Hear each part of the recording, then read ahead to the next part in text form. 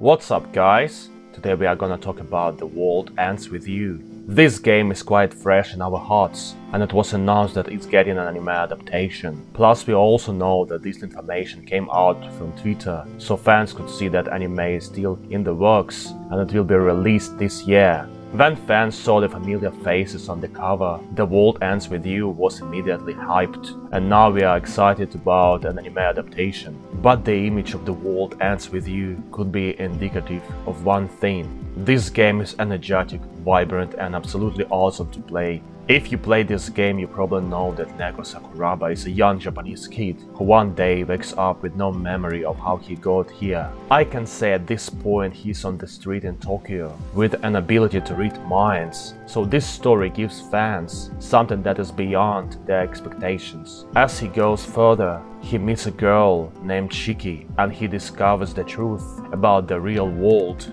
This game is quite different from other RPGs and this one Neku must escape the game, which sets a challenge for him on splitting the story into a few chapters to handle its format easily. While fans are playing the game, they are facing surprising moments and a bunch of well-written dialogue to keep them guessing until the end. It's popular across the world and many fans were surprised that the world ends with you has a unique battle system that allows you to create your own fighting style. At this point so many RPGs fail because the protagonist of this game has different pins that gives him abilities to attack, ranging from bullets, health restoration and defensive moves, so you are welcome to create your own fighting system.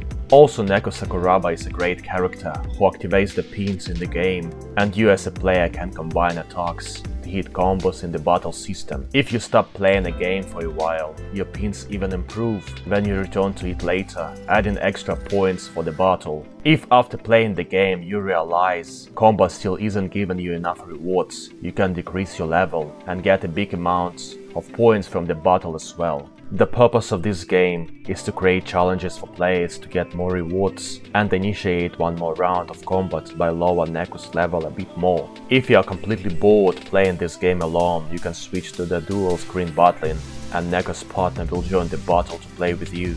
After all, the system is easy to use with the button commands to create a combat chart that increases the holders attack. If you don't want to use the dual screen combat, you can set your partner to the fight in automatic mode and sometimes control him.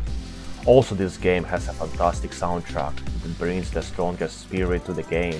As I said, this game is gorgeous with great graphics and hand-drawn cutscenes. There's always something to enjoy while playing The World Ends With You. This RPG is unique as the player who plays this game, although it's complicated but can be flexible for each player. So let me know in the comment section down below, what do you think about The World Ends With You anime adaptation? Will it be better than a computer game? Thanks for watching this video and don't forget to subscribe. See you in the next one.